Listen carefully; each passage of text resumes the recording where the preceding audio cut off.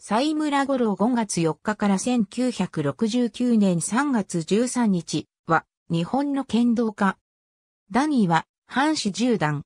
昭和の剣聖の一人に挙げられ、剣聖十段と言われた。また、その気象の激しさから、雷五郎、喧嘩五郎とも呼ばれた。旧福岡藩士西村霞住家の三男として、福岡市洋波町に生まれる。福岡県立中学修遊館に入学後、吉留桂の八重道道場で剣道を学ぶ。修遊館の同級生で共に剣道部であった尾形武虎とは親友であり、卒業後も信仰を保った。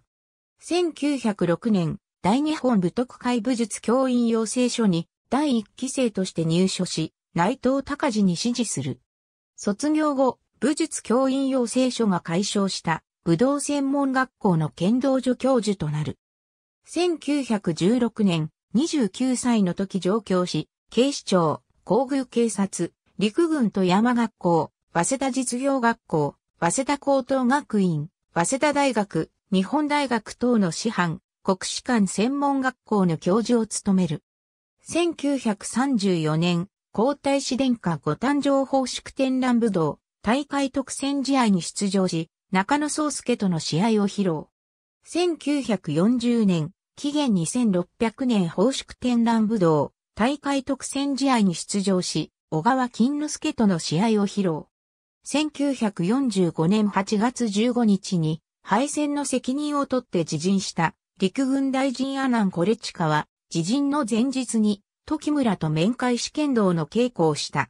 戦後、GHQ により禁止されていた剣道の復活に尽力する。1957年、全日本剣道連盟から剣道10段を授与される。また、警視庁から剣道名誉師範、国士舘大学から名誉教授の称号を授与されている。